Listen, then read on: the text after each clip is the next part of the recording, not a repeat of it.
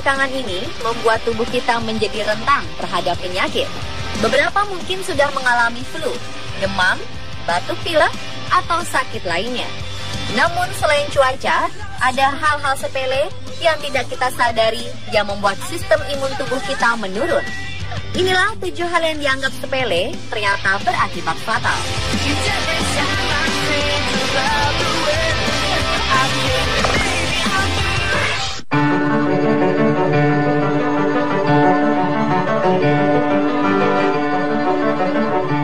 Sebagian besar dari kita tahu jika begadang itu tidak baik untuk kesehatan.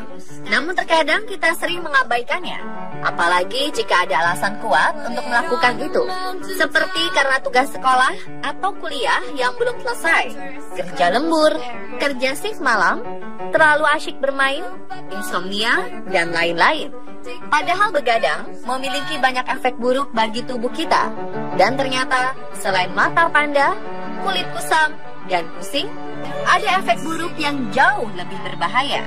Di antaranya, melemahkan sistem kekebalan tubuh, obesitas, penyakit jantung, diabetes, stroke, dan lain-lain. Penyakit yang paling banyak diderita oleh orang yang suka begadang adalah diabetes. Kurang tidur akibat begadang dapat mengurangi kemampuan sel lemak untuk merespon insulin. Hormon yang mengatur metabolisme dan berperan besar mengatur kadar gula dalam darah. Saat tidur, kadar gula tubuh menurun. Karena gula dalam tubuh banyak dipakai oleh hati pada proses detoksifikasi. Nah, jika kita begadang, proses detoksifikasi pada hati akan terganggu. Akibatnya, kadar gula kita meningkat.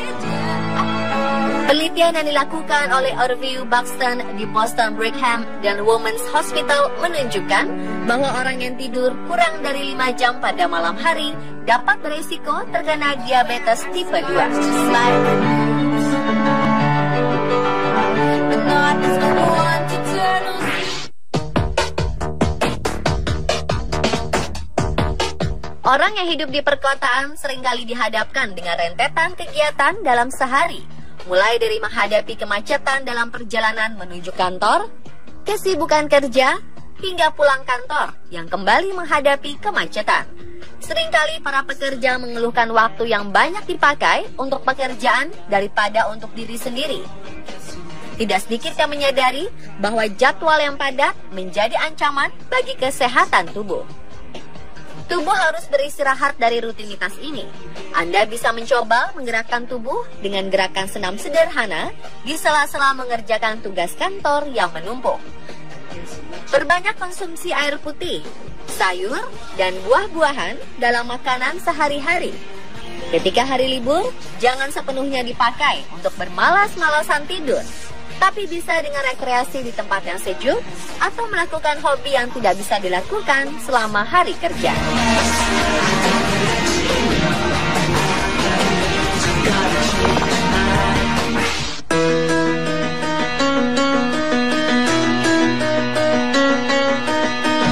Anda suka mengupil? Mengupil atau membersihkan kotoran di dalam hidung ternyata tidak boleh sering-sering loh Lendir yang ada di dalam hidung ternyata memiliki manfaat, yaitu menangkap virus yang masuk melalui hidung. Jika terlalu sering membersihkannya, apalagi membiarkan hidung kering, kuman akan lebih mudah masuk ke dalam hidung. Terlalu sering mengupil juga bisa membuat rambut hidung rontok. Rambut hidung ini berfungsi menyaring bakteri yang masuk ke hidung bersama udara. Jika rambut ini tidak ada, maka bakteri, debu, dan partikel kecil yang berbahaya bisa dengan mudah masuk. Dalam rongga hidung, ada sinus yang bagian dalamnya berdekatan dengan bagian otak. Jika tidak hati-hati mengupil, kita bisa menyentuh bagian tulang yang menghubungkan hidung dan otak. Jika tertusuk, cairan otak bisa bocor dan mengakibatkan meningitis atau radang selaput pelindung sistem saraf pusat.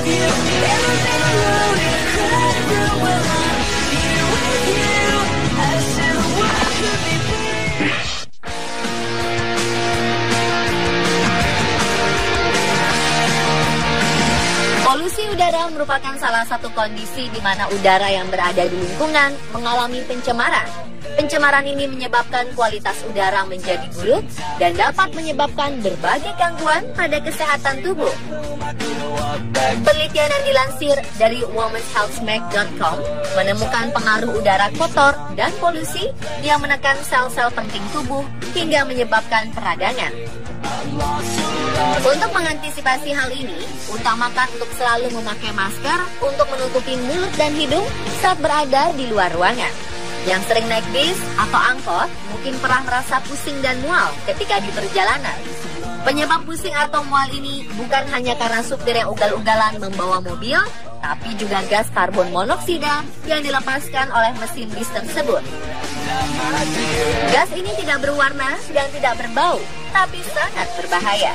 Jika kita menghirupnya, maka gas ini akan menghambat pasokan oksigen di dalam tubuh. Karbon monoksida juga bisa mengganggu fungsi saraf dan fungsi jantung. Seseorang yang keracunan gas karbon monoksida bisa mengalami lemas, mual, pusing, sesak napas, tak sadarkan diri, bahkan bisa mengakibatkan kematian. Jadi, jangan sepelekan gas beracun yang satu ini ya.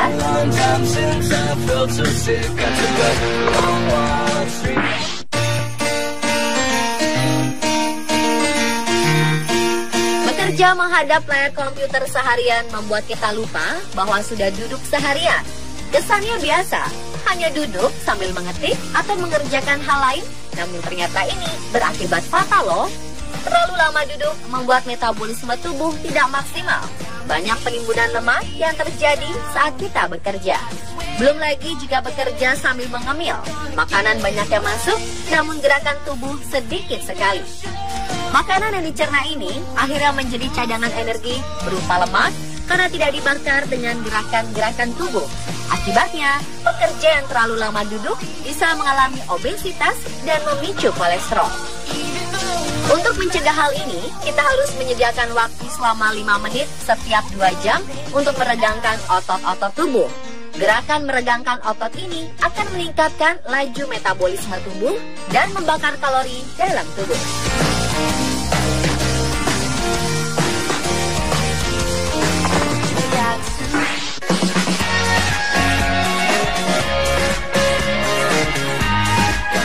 Bagi yang suka bekerja lapangan dan bekerja di siang hari, hati-hati bahaya sinar matahari ini. Sinar UV yang terkandung dalam sinar matahari berdampak negatif bagi kulit kita. Kulit bisa terbakar, terkelupas, dan sensitif terhadap cahaya. Mata yang sering terpapar sinar UV bisa menyebabkan katarak. Sinar UV ini juga bisa merusak sel-sel predator yang berguna menghancurkan sel tumor pada kulit. Meskipun begitu, kita tetap memerlukan sinar matahari untuk menambah kekebalan tubuh dan membentuk vitamin D dalam tubuh. Agar tubuh memproduksi vitamin D yang aktif, berjemurlah di bawah sinar matahari pagi selama 10-15 menit setiap hari. Namun jangan berjemur di atas jam 10 pagi karena sinar UV akan mengancam kulit dan membahayakan sistem imun tubuh kita.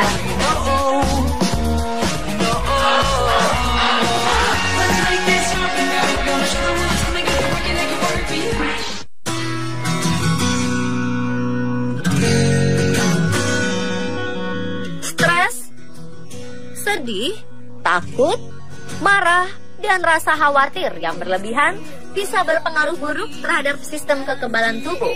Ketika kita di bawah tekanan atau stres, kadar kortisol dalam tubuh meningkat. Kortisol akan mengubah respon sistem kekebalan tubuh dan menekan sistem pencernaan, sistem reproduksi, bahkan proses pertumbuhan. Selain itu, hormon kortisol yang tinggi dalam tubuh akan mengurangi produksi prostaglandin yang mendukung fungsi kekebalan tubuh. Studi telah menemukan bahwa stres berat dan berlarut-larut atau kronis membuat orang menjadi lebih rentan terhadap pilek dan flu, serta masalah kesehatan yang lebih berat seperti penyakit jantung, diabetes, dan lain-lainnya.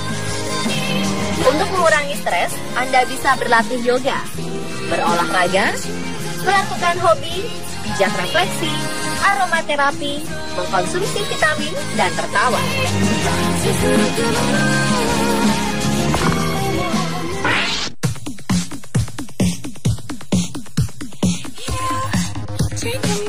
Anda masih jomblo? Atau sering menyendiri dan malas bersosialisasi?